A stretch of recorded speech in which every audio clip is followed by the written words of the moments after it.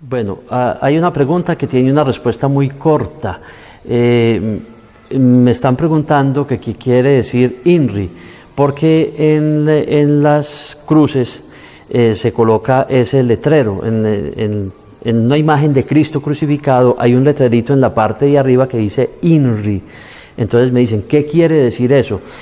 Recordarán ustedes que cuando en Semana Santa, el domingo de Ramos o el Viernes Santo, se hace la lectura completa de la pasión, en esa lectura de la pasión está el significado de ese letrero.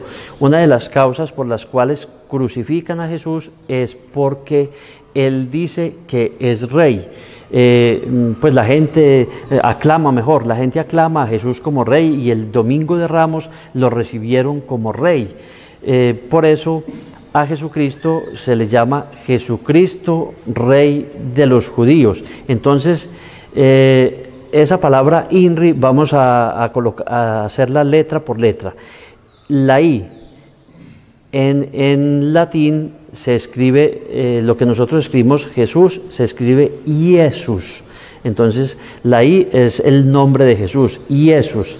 Eh, la N, Nazarenos, de, eh, de Jesús Nazareno. La R, Rex, que quiere decir rey, rey. Entonces Jesús Nazareno, rey, y la I quiere decir de los judíos, Iudeorum. Iudeorum, que es con I, Iudeorum, quiere decir de los judíos. Por eso ya compuesta toda la frase queda Jesucristo, Jesús Nazareno, Rey de los judíos. Ese es el significado de la palabra INRI que le colocaron allá para identificarlo, porque eso era lo que la gente decía, lo aclamaban como rey. Y recordemos que a Jesús él nunca buscó ser rey ni nunca buscó honores de ninguna clase, pero era la gente la que quería que él fuera el rey. ¿Por qué? Porque la gente estaba viviendo una situación muy difícil de opresión, de persecución, de pobreza, eh, sobre todo una, una, situación en la que se les cobraba mucho impuesto. La gente trabajaba, trabajaba, trabajaba y solamente pagaba impuestos, escasitamente vivían, así que nunca progresaban, nunca podían tener nada, se llegaban y pasaban los años y la gente lo único que había hecho en la vida era trabajar y trabajar y trabajar para el gobierno. Entonces eh, la gente quería alguien, un libertador, que les quitara esa carga de encima. Y como Jesús venía hablando de misericordia, Jesús venía hablando de generosidad, de, de, ayudar a los pobres, de liberarlos, de todas esas cosas, entonces la gente decía, este es el rey que necesitamos, Jesús, que viva Jesús, que viva el rey. Entonces ellos querían aclamarlo como rey, pero concibiéndolo como un libertador eh, a la manera de los reyes de este mundo.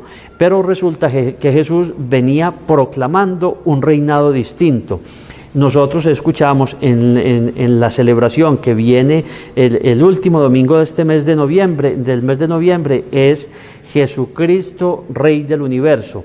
Y allí ese domingo vamos a explicar cómo es el reinado de Jesucristo en comparación o en contraposición a los reinados de este mundo. A ver, ¿cómo es un rey en este mundo? Un rey en este mundo tiene territorio, tiene ejército, tiene dinero, tiene poder, tiene todas esas cosas. Esas son las características de los reinados de este mundo.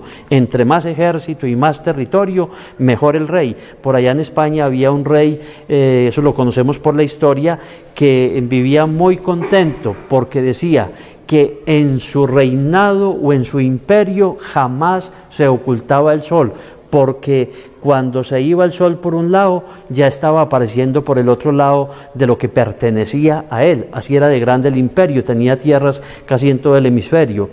Entonces, el, reinado de este mundo es eso, es de poder y es de tierras y de ejércitos. El reinado de Jesucristo tiene unas características distintas. El reinado de Jesucristo es de justicia, de amor, de verdad y de paz. Y podemos repetir esas palabras.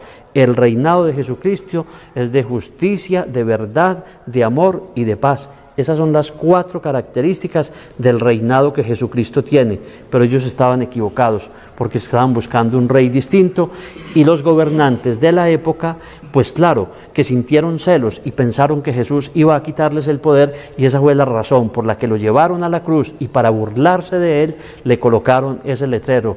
Jesús Nazarenos res iudeorum, Jesucristo Nazareno, Rey de los judíos. Espero haber respondido la inquietud y sigo atento a otras que se puedan presentar para seguirlas resolviendo a través de este canal. Feliz día.